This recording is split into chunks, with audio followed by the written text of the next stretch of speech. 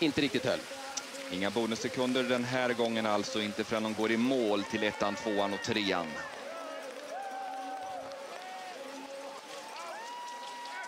Ja, ni kan dem väl vid det här laget. Legkov, Hellner, Vylegzjanin och Nortug längst fram. Marcus Hellner fick göra grovjobbet i klungan som gick i kapp Legkov. Ja, då går han förbi direkt nu, Hellner, och är uppe i ledningen. Mm. Sen har ytterligare en fransman åkt upp sig rejält. Eh, det var... Eh, det är Christophe Peria.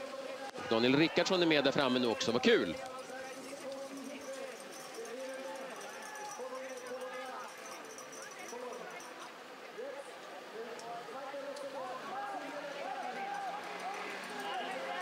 Här ser ni Daniel Rickardsson med i kampen om de första placeringarna, även om han är i bakre delen av klungan.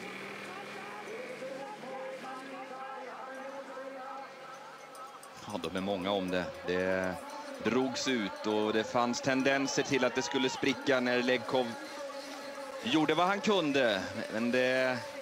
Det är Vylegzjanin som gör jobbet. Precis. Legkov är nere på en sjätte plats nu och Rennemo åker ju eh, otroligt bra